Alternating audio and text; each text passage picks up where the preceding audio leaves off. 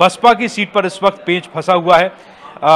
ए के मिश्रा, बसपा क्या करेगी ऐसे में? क्योंकि बहुजन समाज पार्टी के एक विधायक हैं अनिल सिंह, जिन्होंने बीजेपी को वोट किया है। भीमराव अंबेडकर को लेकर कांग्रेस समर्थन कर रही थी, सात विधायक भीमराव अंबेडकर का समर्थन कर रहे थे।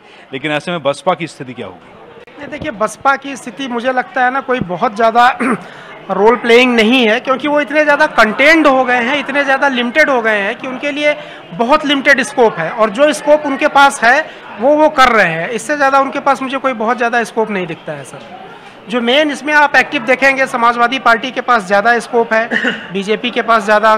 कांग्रेस का अगर आप देखेंगे तो कांग्रेस के लिए भी बड़े लिमिटेड ऑप्शंस और स्कोप्स हैं। तो ये वहाँ की सारी की सारी डायनामिक्स है तो बसपा कोई बहुत ज़्यादा नहीं कर सकती और मुझे ये लगता है कि हो सकता है बसपा के बहुत सारे विधायक जो बोल भी रहे होंगे, क्योंकि बसपा की कंडीशन भी अगर आप देखें, जो एक पॉलिटिकल ताकत होती है स्टेट में जो रहती है 2014 के इलेक्शंस के बाद से, बहुत सारे टाइम पे आप देखिए तो उनका कोई रणनीतिक बयानबाजी भी उनकी तरफ़ से नहीं आ रही है, कोई प्लानिंग नहीं आ रही है।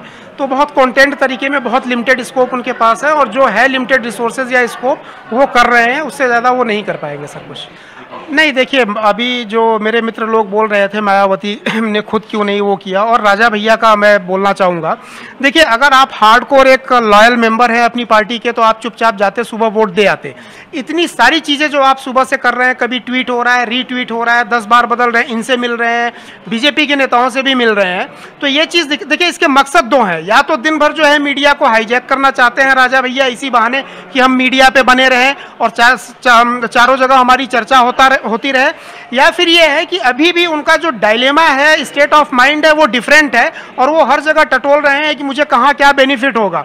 दूसरी चीज़ अगर मायावती जी का देखें तो मायावती जी ने क्यों नहीं अपना नॉमिनेशन किया क्यों नहीं वो मैदान में उतरे?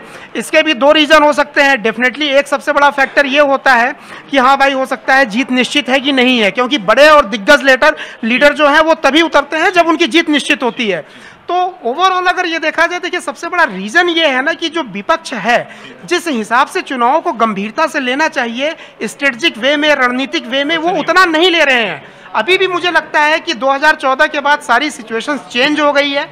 माइक्रो लेवल पे इन लोगों को आना चाहिए। ठीक।